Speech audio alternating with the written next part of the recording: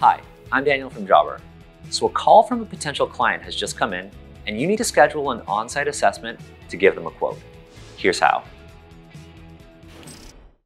In Jobber, the first thing we're going to do is click Create in the top left corner of your screen and then select Request. That's what your potential client is calling for. They're requesting work. This is the work request form.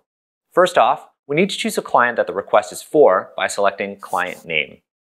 You then have the option of selecting an existing client, but since this is a new client, choose Create New Client.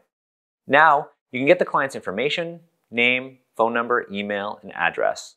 The most important information that you'll need to collect here is their name and their property address, as that's what's required to schedule the assessment. We do recommend that you collect as much information as possible though, so that you don't have to ask later.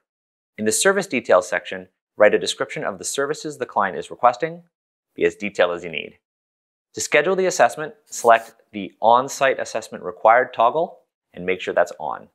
First, you can add any instructions. This could be a gate code, a description of the property, or anything else your team members may need to know in order to complete the assessment.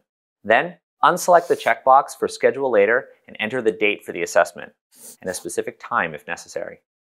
Then, assign the assessment to a team member. You can also add any internal notes and attachments that may be required. Once that's done, click Save Request.